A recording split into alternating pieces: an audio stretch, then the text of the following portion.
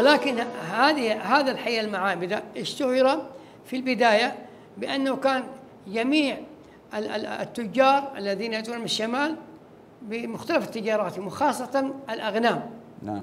والإبل والبقر يأتون بها إلى هذا الحي ويجدون هناك ناس يعتنون بها ويحافظون عليها ويخرجونها الأسواق يعني للبيع يبيعونها لأصحابها ويعودون ويأخذون طبعا مقابل البيع اللي هي طبعا آه، السمسرة أو كذا نعم.